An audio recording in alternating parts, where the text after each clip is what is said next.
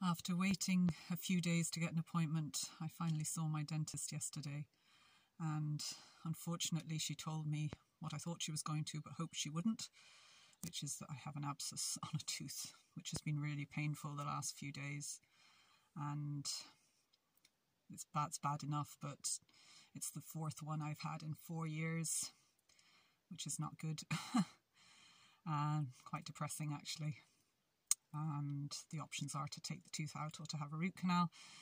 And the previous three I had root canals on because I think I'm too young to lose my teeth, and although it only gives them a lifespan of maybe 20 years, it's better than not having the tooth. So that's what I'm looking at again, I think, unfortunately.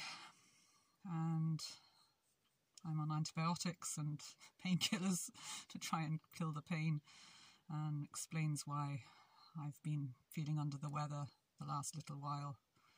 I've been trying to ignore it, but I knew I knew something wasn't right, um, obviously because I have an infection.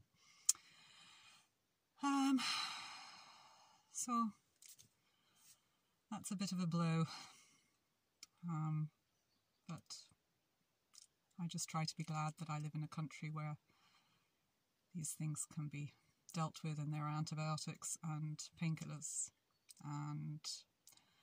have problems with my teeth and always have had. The teeth in the women in my family are not great to start with, and from the age of 28 to mm, 34, I had chronic um, acid reflux, uh, which was treated, but still, you still have acid coming up at night, especially, and that just eats away at your teeth.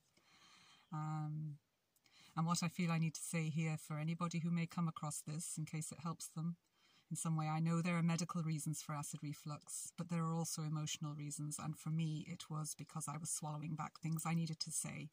And when I started speaking my truth, then for the most part, the reflux went. It still reoccurs occasionally, but um, that may be of interest to somebody out there. Um, anyway, that being said, it's my teeth, unfortunately for me. Uh, but we'll keep going, and I have the car loaded up with things to go into storage, so I'm going off now to visit my friend who's very generously giving me a space in a shed that she has that's not used for anything at the moment to store my things, um, which is a wonderful gift because it's safe, secure, and it doesn't cost anything which um, I'm truly grateful for. That's that's a real a real boon to have somebody like that in my life, and she's an amazing person. She's like a mother to me. She's as much of a mother as I have, and I shall always be glad that she came into my life and consider her a blessing. Um, she has done so much for me over the 20 years that I've known her and continues to do many things for me.